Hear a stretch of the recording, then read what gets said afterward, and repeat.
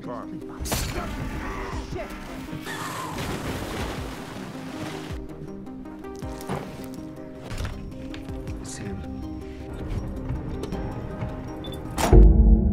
The movie starts with a man named Mark, who meticulously plans revenge against his wife, Maria, for her infidelity. The day begins with a disturbing scene. As Maria wakes up, she finds herself tightly chained to her husband, Mark, who sits across from her on the bed. Without a word, Mark picks up a gun and shoots himself in the head, leaving Maria in shock, bound to his lifeless body. Confused and terrified, she attempts to break free from the chain, only to discover it's unbreakable. She finds Mark's gun and tries to shoot the chain, but there's only one bullet, rendering her efforts useless. After a while, there's a knock at the door. To her surprise, it's Jack, her lover, who was the reason behind her betrayal of Mark. Jack soon realizes the horrifying situation he's now part of, and both he and Maria are implicated in Mark's apparent suicide. Their problems are about to get worse, however, as another visitor arrives, Henry, a man who was sent to prison 10 years ago, partly because of Maria's actions. Henry holds a deep-seated grudge, as Maria had blinded him in one eye during his arrest. With vengeance as his only goal, Henry swiftly attacks Jack with a knife,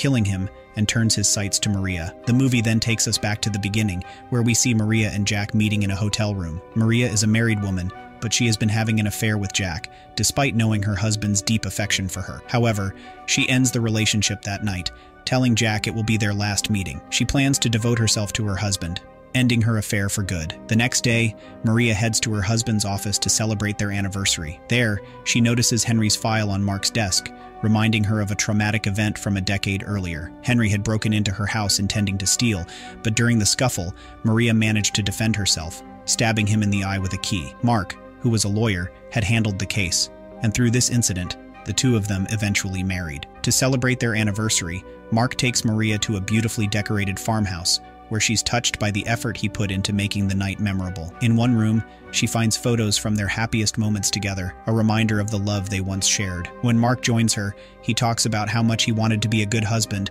and suggests they make a fresh start. The moment is tender, and both of them become emotional and intimate. But the next morning, everything changes. Maria wakes up to find Mark sitting beside her, and both their hands are chained together. Confused and alarmed, she demands to know what's going on, but Mark calmly tells her it's time to face the truth, then shoots himself in the head. In shock, Maria tries to break free from the chain, dragging his body around the house in search of something strong enough to break it, but finds nothing. Her phone, submerged in a jug of water, is ruined, a clear part of Mark's plan to trap her. Desperate, Maria drags Mark's body outside, hoping to reach the car parked in the snow. But when she attempts to start it, a pre-recorded message from Mark begins playing. In it, he tells her about the betrayal he felt from her affair with Jack. As she tries to start the car, she realizes that Mark had drained the fuel the night before, leaving her stranded. Returning to the house, she notices Henry's picture, suggesting that he might soon appear. Her fear heightens when the doorbell rings. Thinking it's Henry, she tries to lock the door, but then hears Jack's voice calling from outside. Jack insists he didn't plan to come,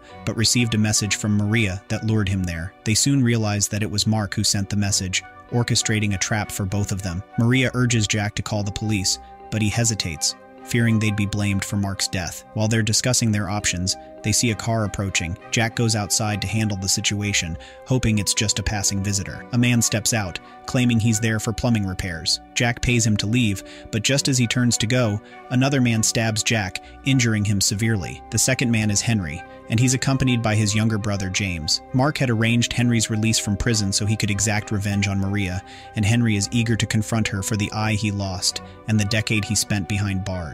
Once inside, Henry begins searching for Maria, but she quickly hides herself in the storeroom, dragging Mark's body along with her. In a moment of desperate determination, Maria finally frees herself by using a sharp metal tool to cut her hand, severing the connection that Mark forced upon her. The two brothers, Henry and James, hear sounds coming from the storeroom. Investigating, they discover Jack's body and assume Maria has already fled unaware that she is still hiding under a table in the same room. They head back inside to search for a diamond Mark had promised them. They soon locate a secure safe but realize it's heavily protected, requiring either a fingerprint or a password. Thinking they can unlock it using Jack's body, they leave Maria momentarily safe in her hiding spot. In the meantime, Maria discovers a gasoline can in the storeroom and quietly refills the car's tank. But Henry notices the gas can beside the vehicle and realizes she's still nearby. He punctures all four tires with a knife, ensuring she won't escape in the car. Maria, watching him, retreats back to the storeroom to stay hidden. Just as Henry closes in,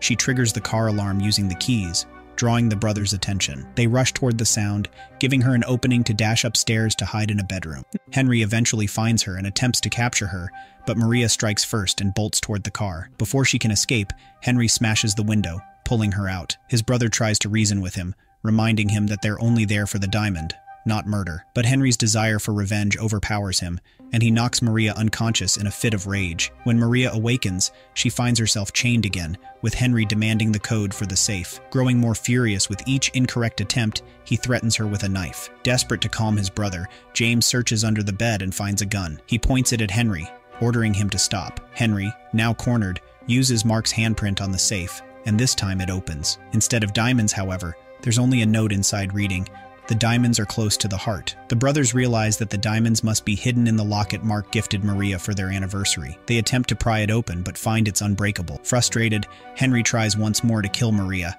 sparking a violent confrontation with James. The scuffle ends tragically when Henry pushes his brother, causing him to fall backward onto a hook mounted on the wall fatally impaling him through the head. Devastated by James's death, Henry turns his fury on Maria, firing the pistol in her direction, only to discover it's out of bullets. Enraged, he throws objects in a frenzy, intending to harm her. Maria, however, seizes an opportunity, striking Henry with a metal cutter and knocking him unconscious. She quickly chains him up and tries to escape, but he soon regains consciousness and pursues her once more. Maria sprints to the car, desperately trying to drive away. She attempts to run over Henry, but the vehicle crashes into a house and overturns. She manages to crawl out of the wreckage, only for Henry, now dragging Mark's lifeless body, to catch up and confront her in a final showdown. As they struggle, the ice beneath them gives way, plunging all three, Maria, Henry, and Mark's body, into the freezing water. Henry clings to Maria, trying to drown her along with him, but Maria, fighting for her life, stabs him in his remaining eye, leaving him completely blind. He loses his hold, allowing her a chance to swim upward. Maria surfaces, only to find herself trapped beneath the ice, her breath running out. From above, the ice-covered surface appears empty, with no sign of her escape. Suddenly, a knife breaks through the ice, and Maria pulls herself out, gasping for air. Against all odds, she survives the ordeal, leaving behind the dark and twisted revenge plot. The story concludes with her hard-fought escape, her struggle a testament to resilience and survival. End of the movie. Thank you for watching this recap. If you enjoyed it, make sure to hit the like button and subscribe for more content like this. I always love hearing from you, so feel free to leave a comment below with your thoughts or suggestions for future content. Once again, thanks for tuning in, and I'll see you in the next video.